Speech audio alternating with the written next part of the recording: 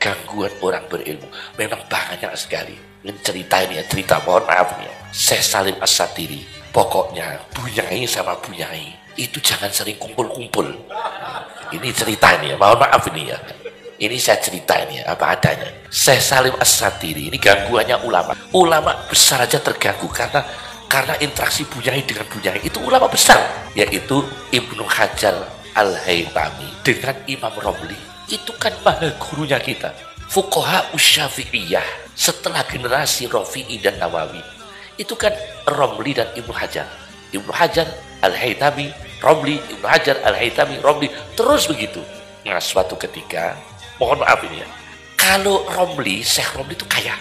Syekh Romli itu kiai sugih. Cara saya ini selepan duwe biru umroh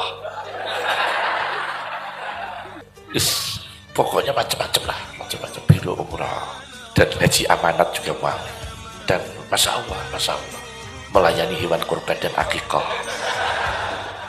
Pokoknya bisa saja cari uang. Bisa saja itu Syekh Romli kaya sementara Ibnu Hajar itu mohon maaf disebut fakir. Suatu ketika Bunyai Romli Syekh Romli Bunyai sekeluarga pulang haji. Wa wa'ailatuhu sekeluarga. Bokeng kolam renang. Loh, sudah ada waktu itu. Bokeng kolam renang. Al-Hammam.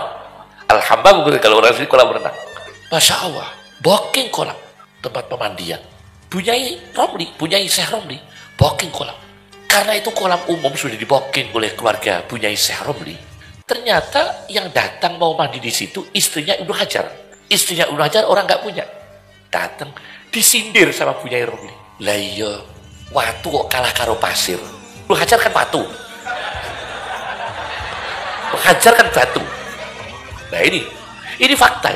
Romli kan pasir. Lah iya Bunyai watu kok kalah karo Bunyai pasir langsung pulang bang marah. Marah. Dipameri Fortuner baru. Kalau sekarang ya kalau sekarang dia marah. Dipameri. Nah ya bunyai watu. Ibnu Hajar kan batu. Kok kalah ya dengan bunyai pasir? Pasir kok bisa ngalah watu? Karena yang booking dia. Yang pakai bunyai Ibnu Hajar. Marah ulang. Ibnu Hajar dilapori segini kilo pak. Masih gak di duit segini marah-marah istrinya segini kilo pak. Diku poyok-poyokan wong.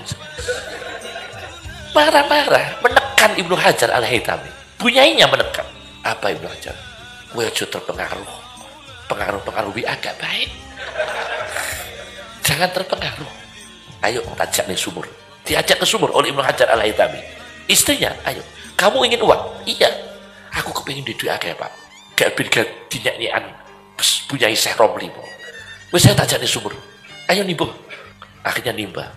Air itu ditimba isinya emas semua. Rumahnya Ibnu Hajar ternyata. Ini saya cerita di sini berani. Kalau cerita di kelompok sana yang nggak suka cerita cerita begini, ya enggak. Ini saya cerita karena orang yang wa kullu man lam yaktakid lam yantafi nanti ya. Karena ini orang kita percaya ini cerita seperti ini. Saya percaya cerita-cerita. Kalau wa kullu man lam yaktakid lam yantafi. Mereka nggak percaya kita cerita malah ditertawakan mereka. Eman-eman kita. Kita cerita ini di depan orang yang percaya dengan karomah-karomah seperti ini. Nah, nu'min wa na'taqid. Kita percaya. Nah, ini ayo tak ajak kamu ke sumur. Sumur rumah kita sendiri. Lumayan, rumah kita sendiri kan gak nyewa. Akhirnya ditimba.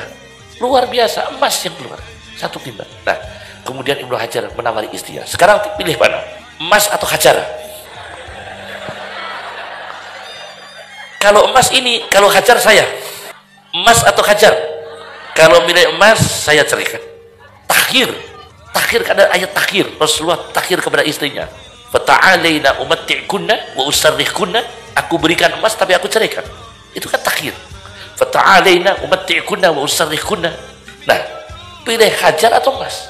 Akhirnya istrinya, wis wis, suki aku tiba punya Romli. Akhirnya puas dia. Kan ternyata Ibnu Hajar bisa memboking itu bisa memboking kolam renang dan membangun kolam renang bisa. Coba nggak ditunjuk-tunjukkan. Daripada kok ibu bunyai bawa tas bagus-bagus gak ada isinya. Nah itu kan ada, kan ada. ada. Seperti itu ada. Ada. Kadang-kadang kalau pas nganten itu tasnya bagus-bagus perkara isi nanti. Ada itu. Subhanallah ya, subhanallah. ini ternyata itu gangguan ulama masya Allah. Masya Allah ini itu ulama besar. Bukan kelas kita ini ulama-ulama. Ya Allah yang masya Allah ya ulama ulama ul ummah. Ulama ul ummah saja begini artinya cukup berat ujiannya ya. Syekh Romli kemudian siapa? Syekh Ibnu Hajar. Dua-duanya orang yang salih